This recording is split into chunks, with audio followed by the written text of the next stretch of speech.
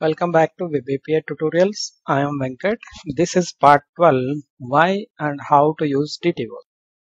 So till now whatever the endpoints we have built we have used the database entity to return the data.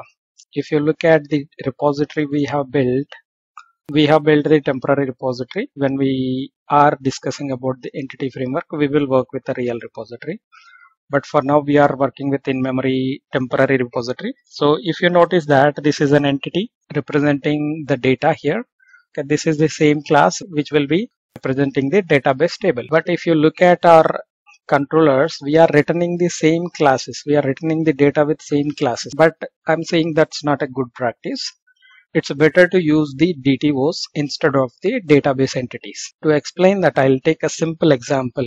I'll take a shopping cart example. So suppose this is a database and there is a data logic layer and there is a business logic layer and there is a presentation layer or UI layer.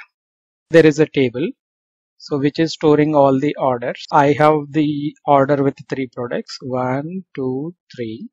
Product A, product B, product C quantity is to 1 3 10 rupees each unit and the 5 rupees each unit and 20 rupees each unit.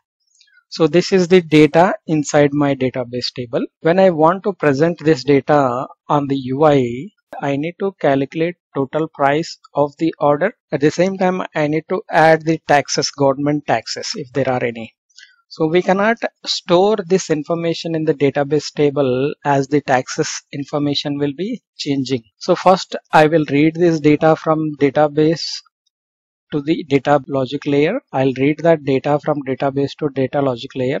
This data logic layer will have the class. Just now I have showed you. So here it will be the class which is holding the ID and the product name and the quantity and the unit price. This is the class is required to store this information inside my C sharp. So I am reading all this data and I am storing inside this class object. But when I came to the business logic layer, I need to calculate the total tax and the total price. Along with this particular class fields, I need to add more fields like a total, total and tax and tax percentage so like this, I need to add additional fields to my particular class.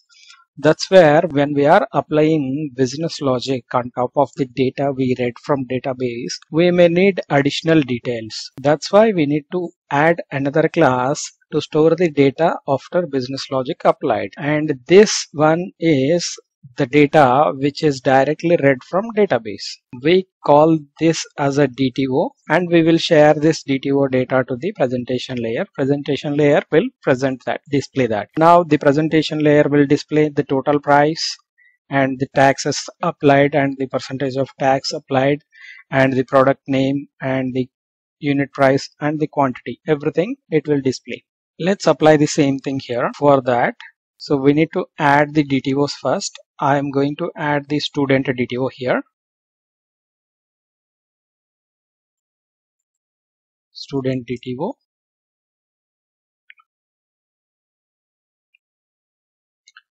For now, in our example, there is no special business logic because we are building simple demo. We are using the same thing.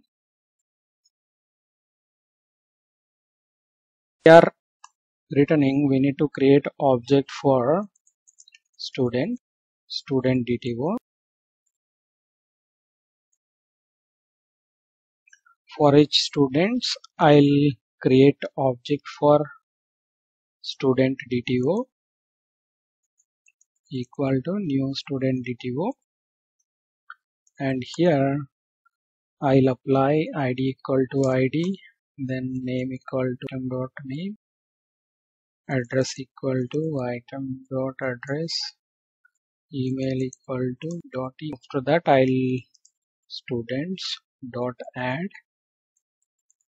student. Sorry this is object. Yeah object. So my students DTO object is ready. We need to return like this. The same thing here. So what I did just now there is a repository of students I have looped through every student and I have created a student DTO object for every student. I have added it into the student DTO list. So this is how we can prepare the student DTO out of the student data objects. We can also build this using the LINQ query. So that is, so I'll copy this. I'll show you how to build it using a LINQ query now. Let me comment this out for each loop. So this is using a LINQ college repository dot students dot select intends to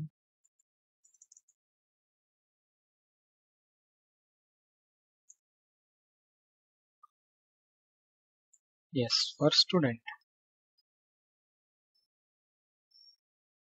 So using LINQ we can simply read like this.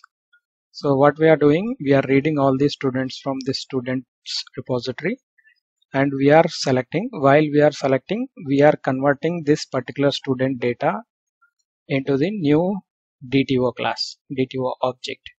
So in this we will have the list of student DTO so like this using LINQ we can convert the students list into the students DTO list.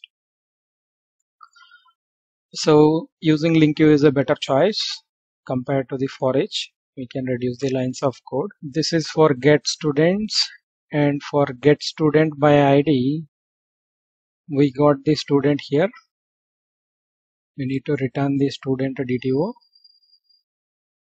when we are returning where